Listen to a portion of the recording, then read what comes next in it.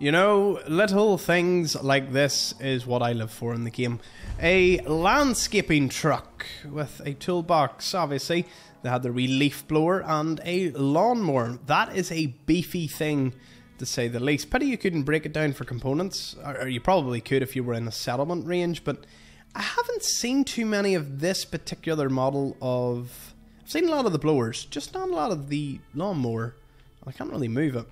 Wonder if anyone can confirm. Do you see many of these just in your travels? I haven't, so the fact I'm making a note of it means I, I really don't. I see lots of these, like lots of them. You can pick them up and put them about, but I don't, I don't even know if they break down to anything in the settlement. I haven't carried one to a point that it can do that.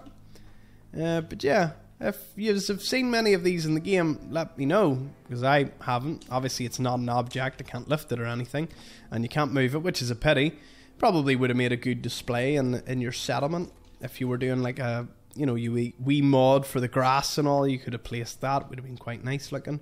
Uh, it's amazing they didn't. Obviously, they have Mister Handies for doing a lot of the cutting, uh, but we're obviously used to seeing well over here more recently. I've seen quite a number of people with the wee robot ones.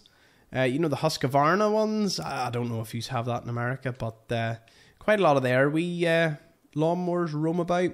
So they automated Mr. Handy's, but they didn't really miniaturize it. So obviously this is just a hand operated one, which again it's got like wee gears and all. That's it's a funky piece of equipment. Maze they didn't try and fit a fusion core into it. I probably shouldn't look too in depth into it. They they probably did try and do that. Ah well, we're going to head on up the highway here and find a few more unmarked locations. Thank you for watching. See you in the next one.